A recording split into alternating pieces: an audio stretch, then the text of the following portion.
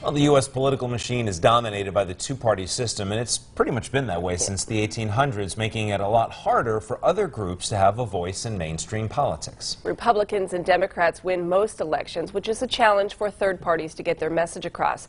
Eyewitness News reporter Cody Butler joins us now live from your local election headquarters with more about how one group is hoping to change that. Cody? Candace and Nick, good evening. Each month, a group called the Lackawanna County Green Party meet to discuss state and national issues and how they can help locally by voting and being active in their community.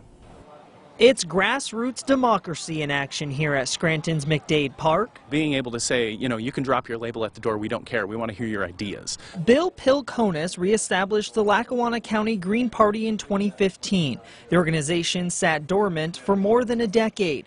Green Party members say nationally they are seeing more Green Party candidates running for office. They say the difficult part is getting people to listen to third parties. The message is hard to uh, get out to folks. With enough signatures, Jay Sweeney hopes to be on the ballot come November. He wants to make a run for the Senate seat in the 20th District. Republican Lisa Baker, a political veteran, currently holds that office. Sweeney is one of a handful of registered Green Party voters hoping to run for office in the Commonwealth. Represent folks that may not necessarily be represented in Harrisburg right now. The group chooses a place once a month in the county to reach people and share their message. While it may not get to voters, they say their message is clear.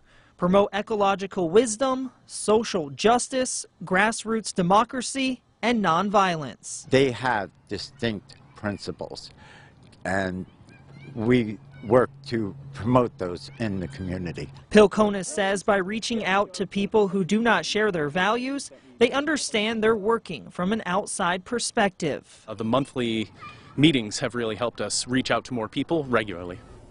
The Lackawanna County Green Party group has more than three dozen members, and there are more than 300,000 registered Green Party voters in the country. Live from your local election headquarters, Cody Butler, Eyewitness News.